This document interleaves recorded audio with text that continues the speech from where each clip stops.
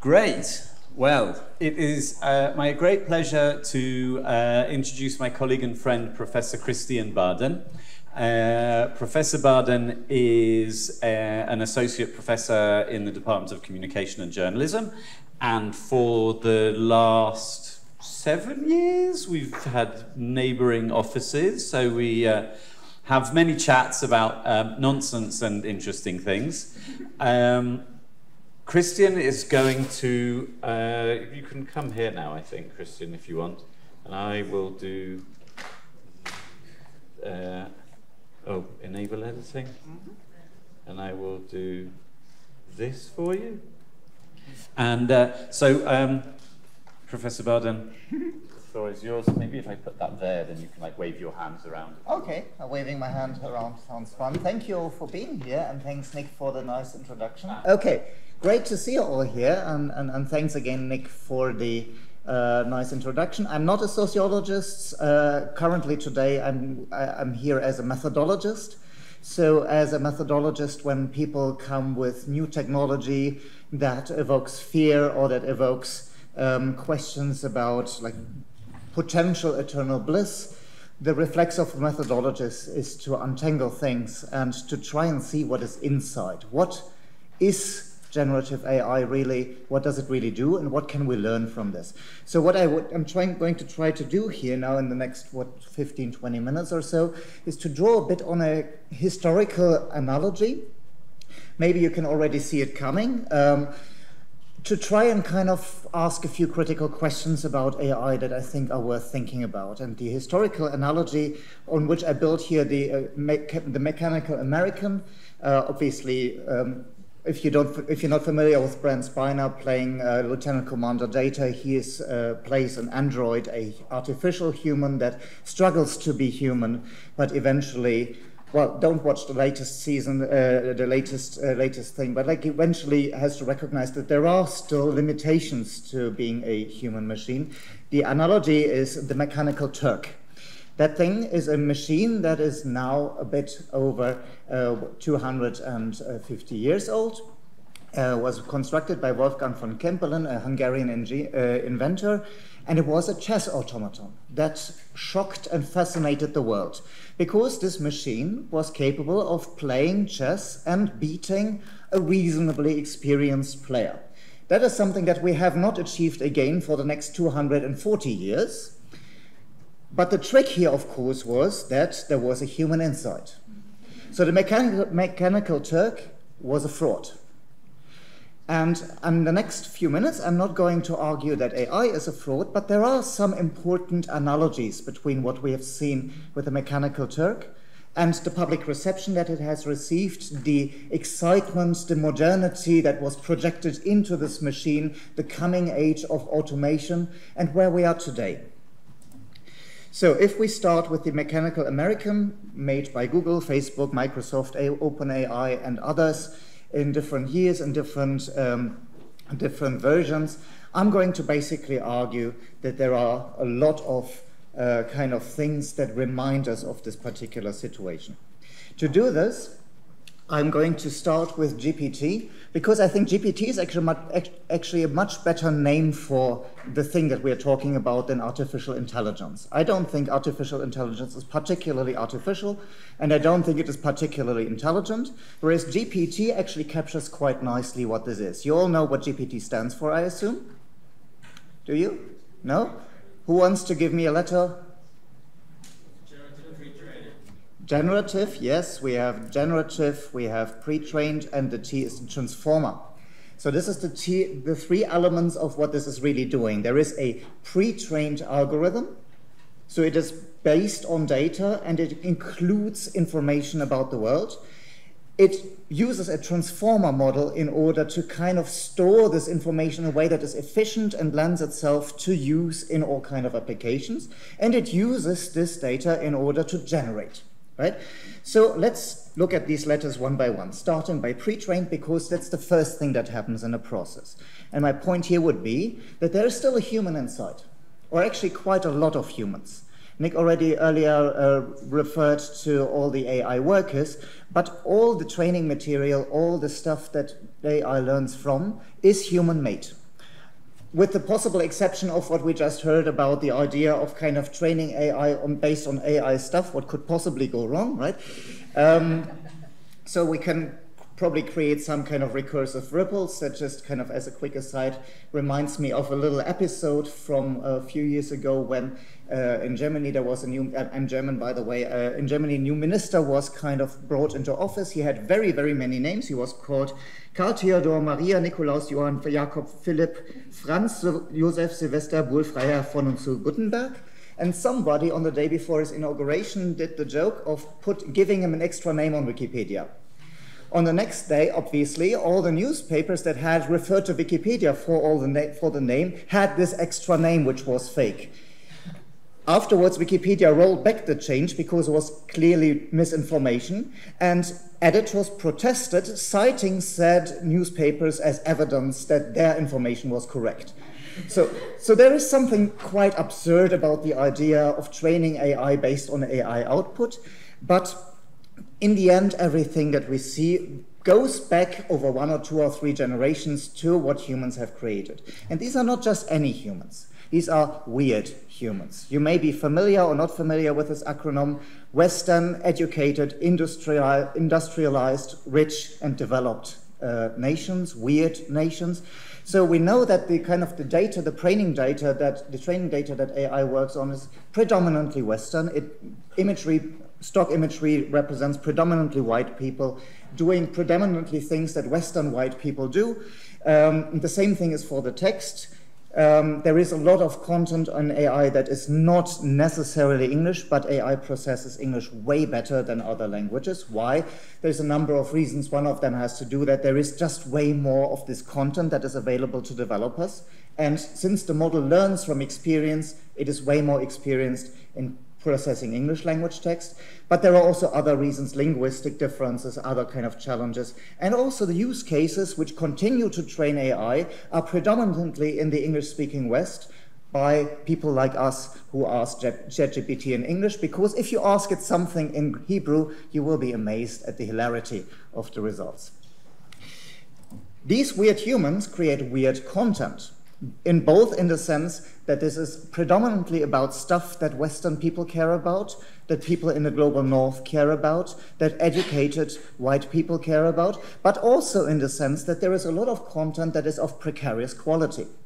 We've already heard about fake news, we've heard about all kind of other content that can be used if uh, that may uh, surface if, uh, uh if AI is trained on, on available data. And we need to invest quite a bit of effort to, say, for instance, train AI in order to make sure that if you ask, for instance, a, a chatbot why everything is the fault of the Jews, it won't give you the conspiracy theory right? Because the conspiracy theory is clearly represented in the training data that it has. So we need to tell the computer that this is maybe not the most reliable source of information. This is actual work. So we need to unweird the content and we need to somehow strike a balance between the good stuff that we think about, right? Like the kind of quality information that is in these training data and all the other stuff, which is a very weird mix of knowledge, controversy. Controversy generates a lot of text. So whenever there is controversy in society over it, it tends to be overrepresented in training data. There is a lot of stereotype, half knowledge, half wit. There is a lot of moderation. This is the AI workers that Nick was referring to. And there's plain bullshit. And the plain bullshit is learned by the AI just as much as everything else. And if we are not watching out, it will spit it back at us. Let's talk a little bit about the T, the transformer. That's the technology in the AI. The transformer is basically a pattern extraction, pattern reproduction mechanism. It is a very, very sophisticated one, right? I'll easily give you that. But in the end, what it mostly does is it tries to extract patterns from the observations that it has and it tries to find efficient ways of encoding them so it can make them usable for other applications. Which means, if you recognize the movie here, the, the robot is essentially trying to mimic what we are doing. It's not trying to think, it is trying to emulate. That's an important difference because it means that the quality of the training data very precariously predetermines what AI can and cannot do. So if humans are biased, the AI will learn the bias. If humans do stupid things, and when has that ever happened, the AI will learn stupid things.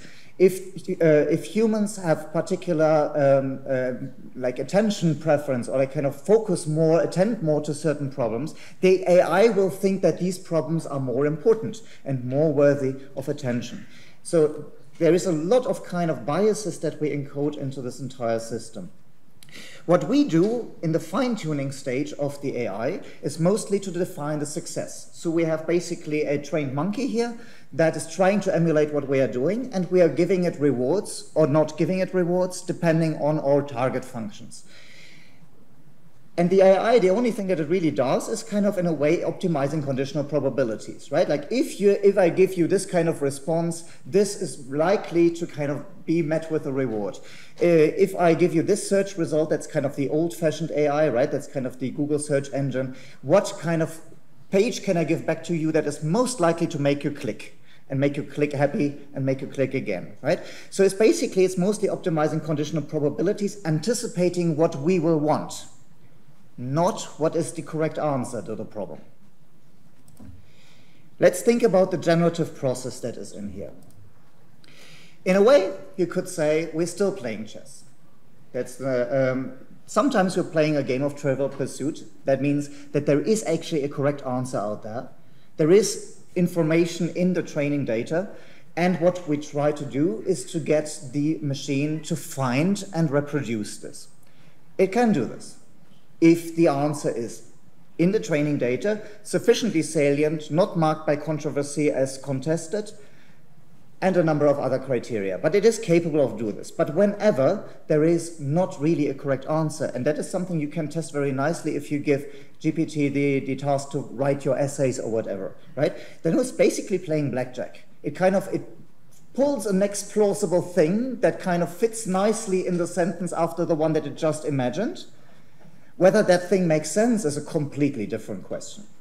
So the AI is not really trying to optimize sense, it is trying to optimize probabilities, and that is not necessarily the same thing, which means that AI can beat humans if the task that it, we give to it has a known answer or followed a predicted uh, procedure. So if we have, for instance, procedures for implementing ideas into design studies, right? If we have, uh, if we have procedures for evaluating the quality of a, of a model or something, AI is brilliant at that because We've done this many times manually. And that's the necessary condition. If we have done this many times in principle, if the knowledge is available in principle, eh, we can train AI to do this if it has sufficiently often observed this. But this mechanism is not intelligence. And the nicest way of showing this is if you use these image generation AIs. They do stuff that makes sense on a local level, but it doesn't make sense as a whole. There is a lot of uh, kind of improvisation that AI pulls whenever the procedure, the correct procedure, the correct answer is not just a retrieval task, an information retrieval task, but it is actually a creative task because that is not what it does. So mistaking AI for creative is, I think, a grave mistake. AI can generate because we generate it. It retrieves, it extrapolates, it combines, it evaluates. That's what it's good at. But it is always stuck and is always limited by what we have given it. It can, it can do the thing that we have done more often, again, louder, in new applications, but it cannot innovate. We like to ignore this. And this is the last analogy with the mechanical Turk. We still enjoy being fooled. We still enjoy this kind of imaginary of the AI that can take over the world, or this kind of nice tingling fear of like, you know, the AI taking over the world. in my experience, AI would probably accidentally take over the wrong world. Um, it might happen, right? But this is not really what we're looking at. And that's why I think that AI is a bit of a misnomer. It's basically, it's a trick. It's a kind of a mechanism. And it makes sense to think of it as a mechanism because that's really what is under the hood.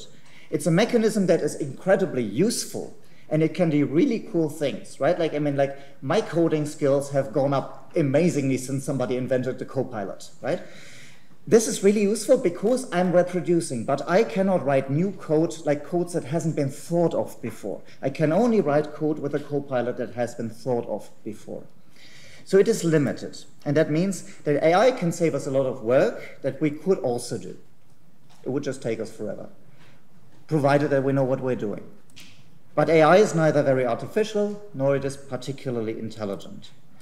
And that means that if we treat AI as intelligent, we risk opening floodgates to bias, to failure, to abuse of all kinds. So don't entrust your innovation process to AI, don't entrust your democracy to AI, don't entrust your life to AI. Use AI in the job, but stay in control of it because that's what it is. It's a mechanism. Thank you very much.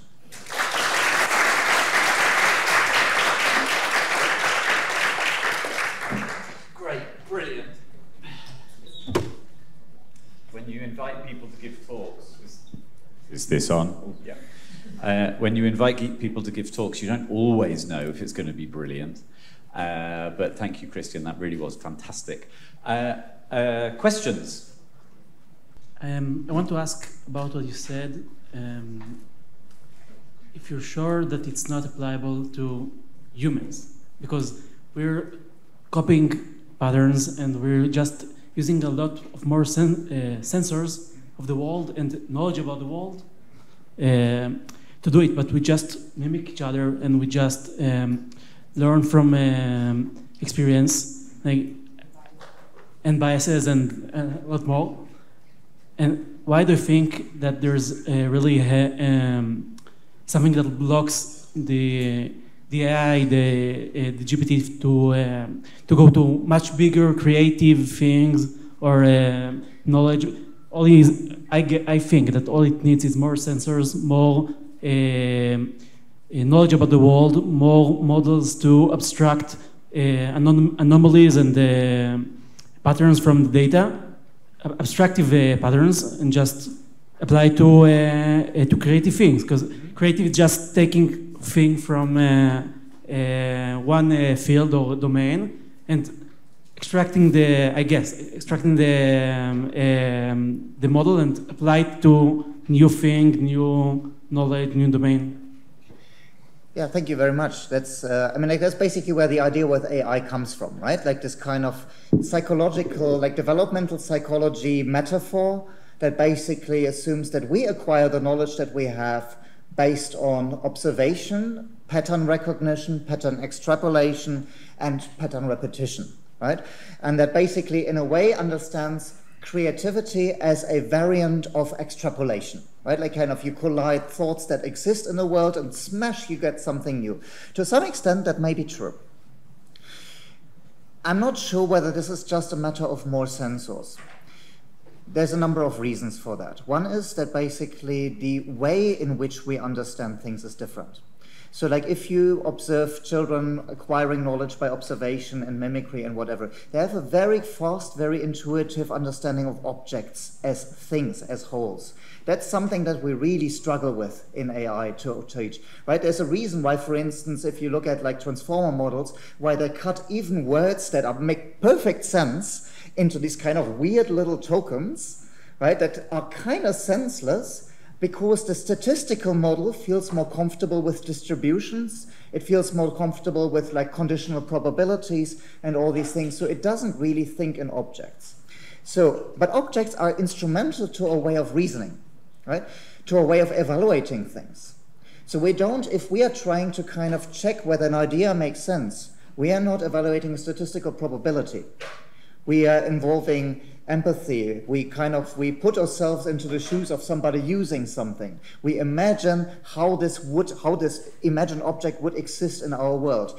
If we can define the goal for which we are using a particular thing then we are back in the evaluation box. That's the thing that ai is very productively applied to these days. Somebody has a cool idea and then you can ask ai to simulate users of this according to known parameters because known parameters are basically what we operate onto, right? But the imagining things is more difficult to imagine. It is conceivable that, I think and it is conceivable that an AI can learn how to generate ideas that are worth evaluating.